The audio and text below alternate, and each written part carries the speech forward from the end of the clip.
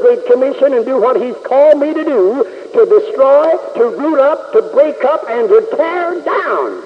I am in the tearing down business. I'm in the uprooting business. I'm in the business of destruction. What are you destroying? You keep watching your TV channel. I made a telecast in the last camp meeting, and all I did was break up images and tromp on idols. Images and idols that I brought in from other lands that had been mailed me from people who had been converted and saved and born again. No, every one of them, most of them were made out of plaster of Paris, at least something that would break. And I did it on television. We prayed, God, let this thing go across the nation, because it's about time people began to realize that God said, and I quote from Exodus 23, 24 and 5, Thou shalt not bow down to their gods, their images, their idols, nor serve them, nor do after their works, but thou shalt utterly overthrow them and completely break down and tear up their images. Eyes they have, but they see not. Ears they have, they hear not. Hands they have, but they don't heal. Feet that never move and never walk. A tongue that never talks. Ears that never hear. You used to find this mainly in the heathen lands, especially in the Latin countries, but now it's sweeping America. And people, even Protestants, are leaving the Protestant churches now by the thousand to bow down to images and idols, do service to them.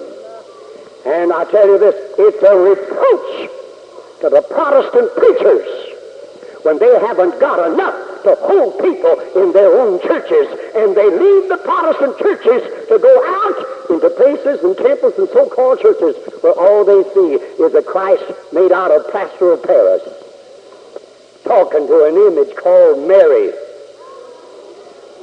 how dumb can people get? When my Bible said the dead know not anything. No, not any of them that go down into the grave. Talking to somebody that knows nothing. The most ignorant person I know of is people that are always talking to somebody and telling somebody something, all their troubles and all their woes and all their sins and all their shortcomings, when that person don't know nothing. I'm not asking Mary to do anything for me. She's no more than saints that died a year ago. She can't hear me any more than St. Paul or Peter of the rest of the saints that are still in their grave. They don't know nothing, they hear nothing, they cannot help. Why should I make an image even of the mother of Jesus and ask her to hear me? She's dead. There's only one mediator between God and men, and that's the man Christ Jesus. There's only one that can hear my cry. There's only one who has an arm that can reach me. The arm of the Lord is not short, neither is his ear heavy that he cannot hear. Amen? There's only one way of salvation, and that's the blood of Jesus Christ. Amen? God gave his only begotten Son that whosoever believeth on him should not perish but have everlasting life. And Mary, the mother of Jesus herself, when Jesus said, bring water pots and fill them with water, the disciples were reluctant, were reluctant to do what Jesus said. But it was Mary, his own mother, that said, Hear ye him. Whatsoever he saith unto thee, do it.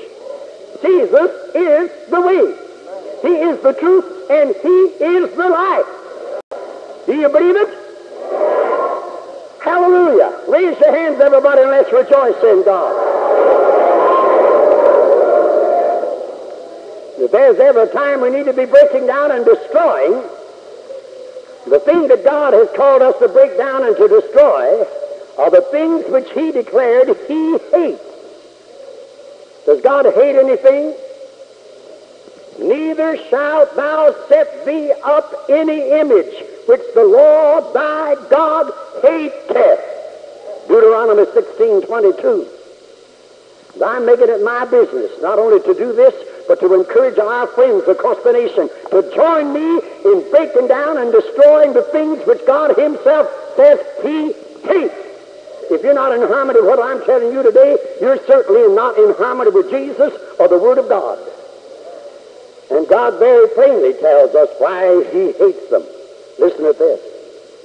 Leviticus 26 1 Ye shall make you no idols or graven images, neither rear you up a standing image, neither shall you set up any image of stone in your land to bow down unto it, for I, the Lord your God, am your God.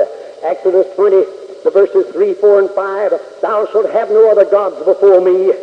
Thou shalt not make unto thee any graven image or any likeness of anything that is in heaven above or that is in the earth beneath or that is in the waters under the earth. Thou shalt not bow down thyself to them or serve them, for I, the Lord thy God, am a jealous God, visiting the iniquity of the fathers upon the children under the third and fourth generation of them that what? That hate me, of them that fail to obey his words. Bow your heads, it's time to pray.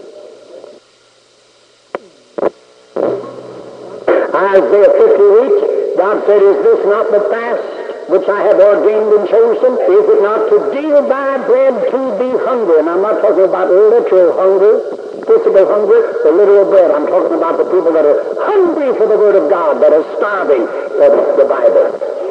God says, if you give your bread to the hungry, so shall thy health, H-E-A-L-T-H, the eighth verse, spring forth speedily, and thy righteousness shall go before thee, and the glory of the Lord shall be thy reward. God's glory go in front of you and God's power come up behind you.